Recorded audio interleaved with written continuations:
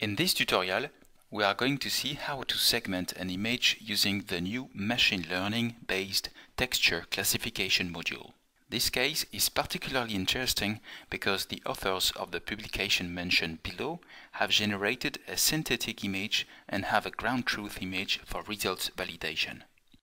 It appears that texture-based segmentation gave the best results among other techniques for different reasons that we are going to present.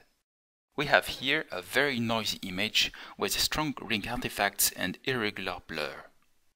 It is then useless wanting to either remove the noise, which will lead to too strong smoothing of the thinnest pores, or set markers for a seed-based segmentation technique such as watershed or active contours, because markers would automatically lie in the rings.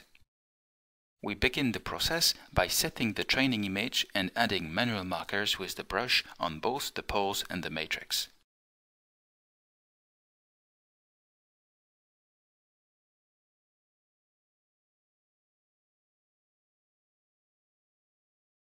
Then we just have to apply the texture classification segmentation module, which computes a set of features from the training image and automatically does a clustering of these features using machine learning.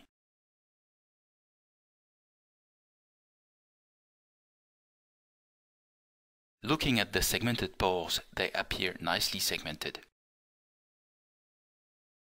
The remaining tasks would consist of basic operations such as creating the mask and masking the pores.